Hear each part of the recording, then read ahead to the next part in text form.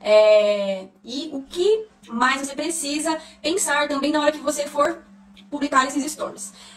Vocês precisam ter muito cuidado. Quando eu falo humanizar, né, que a gente acaba postando um pouquinho da vida pessoal, você vai postar um pouco da sua vida pessoal, do seu dia a dia, da sua rotina, com certo cuidado, tá? É, foi pra balada, tá bebendo, tá não sei o que, não precisa postar, tá? Existe uma linha tênue aí entre postar sua vida social, entre postar sua vida pessoal e postar tudo. Lembre-se sempre que isso que você está criando um perfil comercial, é da sua empresa. Então, passe seriedade, passe profissionalismo, tá? Ah, tô me divertindo com a galera aqui, adoidado. Não precisa postar.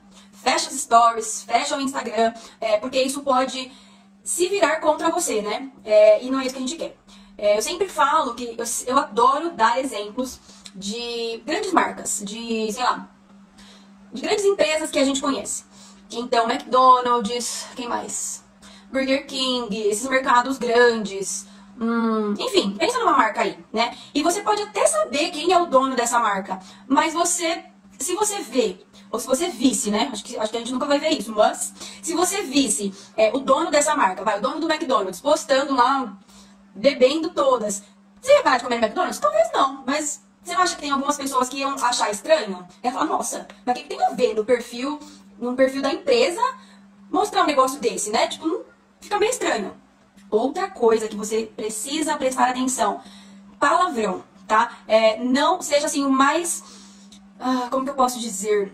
É, tenha muito cuidado com, com o que você vai falar, né? Não é legal também você, você falar palavrão nas, no perfil da sua empresa, tá? Pensa que você tem um monte de cliente ali. E aí, você pode ter as pessoas jovens que falam palavrão, ou enfim, pessoas adultas que também falam palavrão. Mas você pode, você pode ter também na sua rede social uma senhorinha que compra com você sempre e ela vai ver você tendo aquele tipo de atitude ou falando aquele palavrão e ela não vai e ela vai falar, nossa, que desnecessário. E vai parar de te seguir, né? Então, é, vai parar de seguir, vai parar de comprar. Eu tô falando isso, gente, porque eu já vi, tá? Não tô inventando, não. Eu não tô editando regra aqui, não. Eu já vi isso acontecer.